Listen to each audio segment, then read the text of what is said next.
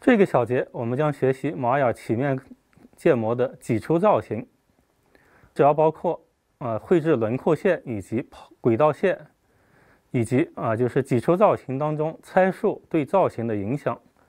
那么我们还会涉及到就是通过重构曲线来提高造型质量的这样的一个方法。现在我们了解一下玛雅的挤出造型。呃，挤出造型它比较适合于用来制作管状的啊这个物体。啊，玛雅在这个曲面啊模块以及啊这个多面体模块啊都有啊挤出造型。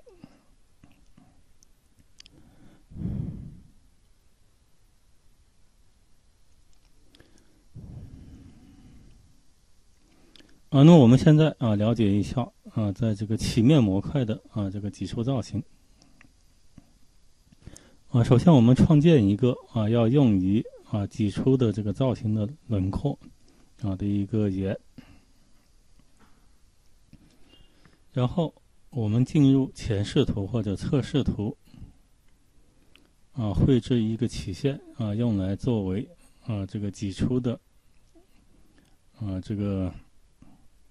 轨道线。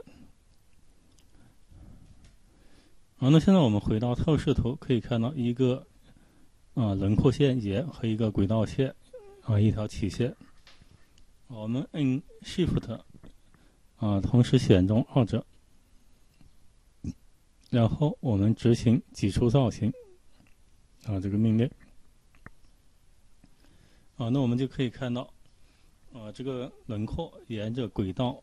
啊，挤出最后得到一个管状造型。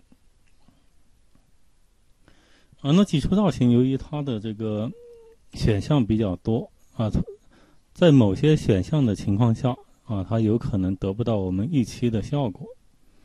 啊，那所以就是我们在啊，就是选择这个选项的时候啊，我们需要啊进行一些尝试。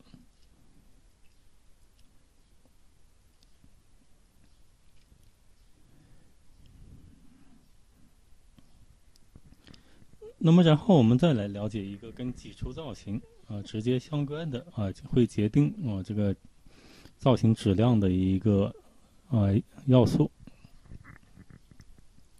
啊，现在我们会发现啊，这个挤出得到的这个管状物啊，它的粗细啊并不均匀，而且表表面也并不光滑。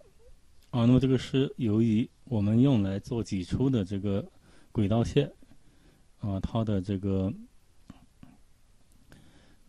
分辨率偏低啊。比如说，我们进入到边际点或者曲线点的模式啊，那我们会发现，刚才我们所绘制出来的啊这个轨道曲线，它只有啊六个啊这个曲线点啊，这样的话就导致了啊，就是这个曲线它的分辨率啊偏低。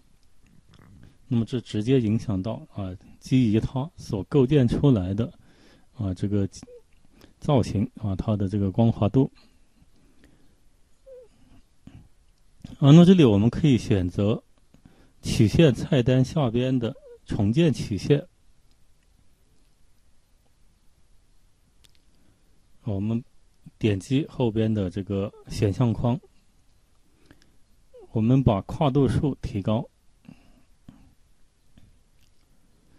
那么，然后下边我们也会看到曲线的次数：一次、二次、三次、五次、七次。啊，我们曾曾经在前边的内容介绍过，啊，一次曲线，那么就是线性的线段形式的，啊，那而且曲线的次方数越高，那么它的精度、平滑度就越好。啊，那一般来说，啊，我们如果是要制作工业造型的曲线，那么用到七度或者五度，基本上可以满足。啊，但是如果是曲线度数太高，那么基于它所制作出来的造型，啊，对系统的消耗也会比较大。